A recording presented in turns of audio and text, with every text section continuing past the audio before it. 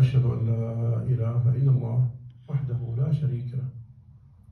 وأشهد أن محمدا عبد الله ورسوله وصفيه من خلقه ومصطفاه نشهد أنه بلغ الرسالة وأدى الأمانة ونصح لهذه الأمة حتى كشف الله تعالى به ومحى به الظلم وأكمل به الدين وأتم به النعم.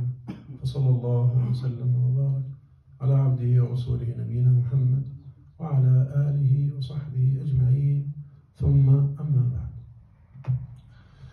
All praise is due to Allah subhanahu wa ta'ala, the cherisher, the sustainer, the founder, the controller, the planner, the preordainer of this universe. And we testify that He is the only one to be worshipped. And may the peace and blessings of Allah be upon His last Prophet and Messenger Muhammad sallallahu alaihi wasallam. we have some landmarks in our life. Very important situations or events may pass in our life that takes a lot of our interest and our concentration. If you are preparing for an important occasion, you put aside subsidiary things, routinary things, things that are not that important. If you are preparing, for example, for your wedding, for example, you don't go to play football on that day. You don't accept any invitation to go somewhere because this is your wedding week, for example. You're preparing every, for the details, looking for the details, and uh, trying to concentrate on what you are going to do during this week. If you are called to receive a prize you won through work, for example, and you're going to meet the minister. You have some very kind of special dress. Okay, you're going to meet the, the minister. You're going to receive a prize. If it is a little bit higher than that, you're going to be summoned by the king, for example. The king promised that uh, five of this institute, five people, five employees, are going to be rewarded for such and such. This is totally different. If you're going to go meeting the king, or the president, or the prime minister, or whatever, you're going to leave everything behind. Because you're going to meet a very special person. Very special person that you may not meet again. It's going to be a lifetime event. You're going to meet a person for the first time and maybe, most probably, for the last time. And you're going to meet the, the king every day. And whatever these people may give you, whether it is the king, or the prime minister, or president, or the minister, or whatever, or the chairman, or is something related to this world. They're going to finish one day or the other. Allah subhanahu wa ta'ala, there is none like unto him. Allah is the King of Kings. Allah is only one of a kind. لم يلد ولم يولد ولم يكن له كفوا أحد. He does not beget, he is not begotten, and there is none like unto him, subhanahu wa ta'ala.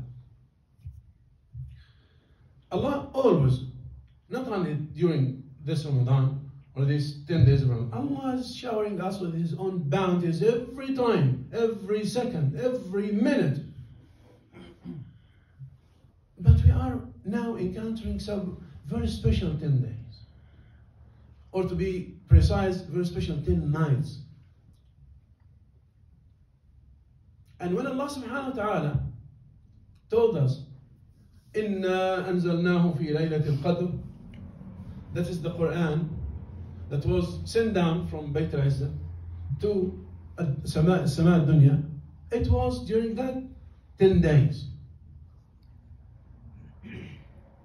And when we say that Ramadan was sent down or was revelated, that Quran was related to the Prophet ﷺ during Ramadan, we mean that. And it was sent in a very special night. That is the night of decree, the night of majesty, the night of, of importance, the night of value, the night of generosity. It is Laylatul Qadr. So, this very special night, and these very special 10 nights, in that very special month, is the best of the best of the best. What should we do? You know, a lot of thing, things that can be said. There are a lot of things that can be said. But the most important thing I can see, and this uh, an advice to myself at first, before advising my own brothers, is to concentrate. You should concentrate. Don't lose a single second. Put aside everything. Leave all things related to this dunya, to this world. Put it aside. The bounties of Allah, the blessings of Allah are limitless. You should try to take as much as you can. Because this is something that will not perish. That reward, if you are granted to be saved from hellfire, this is a prize that you can never imagine. That means that after you pass away and finish that world, you will live in eternal happiness. Endless happiness. You will enjoy to the, to the utmost. No problems, no diseases, no what no troubles, what of what whatever that may happen to you in this world. You should concentrate. Put aside everything. The first of which is that. When you go to a certain minister or ministry or embassy, embassy or whatever, they take this away from you. You switch it off because you're going to meet some important people inside. These are not to be compared to, to Laylatul Qadr, never. When you are meeting the director, you are very keen to put that silent or to switch it off. Because you'll feel ashamed. It's going to ring while you are meeting that very important person. Allah is not to, to be compared to anybody. Allah is not similar to anybody. Allah is much more superior. Our own imagination can never catch the idea of Allah subhanahu wa ta'ala. Is much, much superior and sublime beyond our own imagination. Subhanahu wa ta'ala. So consider these 10, 10 days. And you know, you yourself can prepare a plan that fit you. Because none of us is identical with the other. Every one of us has his own fingerprint. During these nights, I can enjoy reading the Quran, for example. After getting tired of reading the Quran, you can start tasbih. Subhanallah bihamdihi, subhanallah al-azim. Subhanallah, alhamdulillah, la ilaha illallah, Allahu akbar, la hawla wa la quwwata illa billah. During this Jum'ah that is today, you watch Allahumma salli ala Muhammad wa ala ali Muhammad all the time. All the time. Done. A thousand, a thousand is not enough. Because they're multiplied ten times. And they're going to be multiplied more than ten times because you are in Ramadan. They're going to be multiplied more because you are in Jum'ah. Because these are the last ten days. So much. Don't talk about anything that is related to, to that dunya. Never. A very small charity of whatever, even a single real, is worthless. They're so valuable. Because it's going to be multiplied thousands and thousands and thousands. Allah subhanahu wa ta'ala. If you are going to give a charity من كسب طيب from a legal source, a halal source, فإن الله يقبلها بيمينه. Allah takes it with his right hand. سبحانه وتعالى.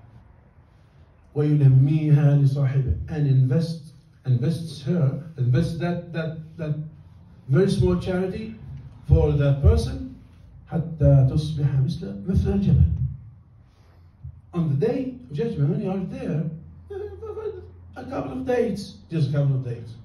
And two mountains there, mountains.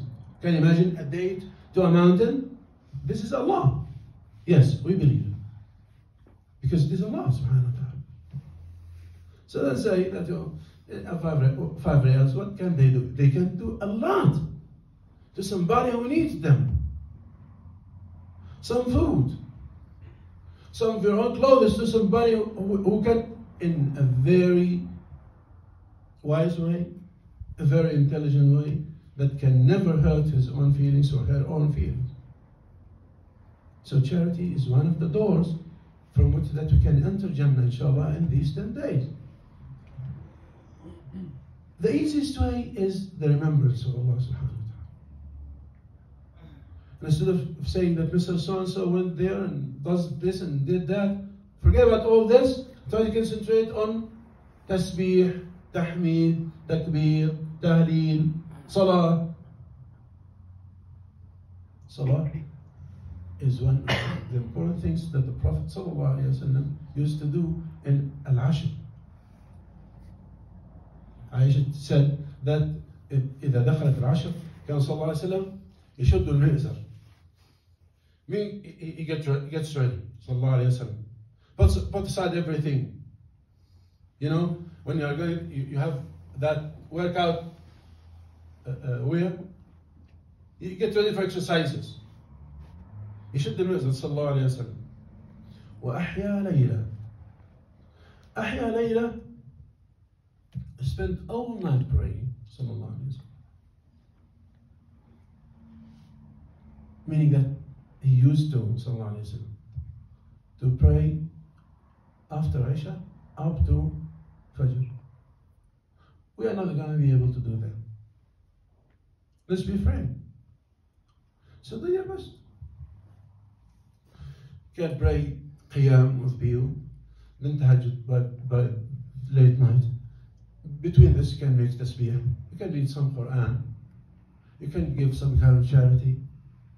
Do anything that is going to be put into your own balance there at Allah subhanahu wa ta'ala. And consider the idea that this may be the last Ramadan. We have many friends, many kins, many colleagues, many people whom we know before was attending Ramadan last year. They're not here today. By here, not, I, don't mean, I don't mean our own masjid. They're not here. That's why. Because of, of several reasons. We are healthy, alhamdulillah. And we can pray, we can read, we can give charity. You don't know what's going to happen tomorrow. The strong may get, may, may get weak. The healthy may get sick. The one who is alive may, may, may die. This is a chance, a golden chance, that we are supposed to do our best to invest. Ask Allah for forgiveness. Be sure that He's going to grant you what you ask Him for.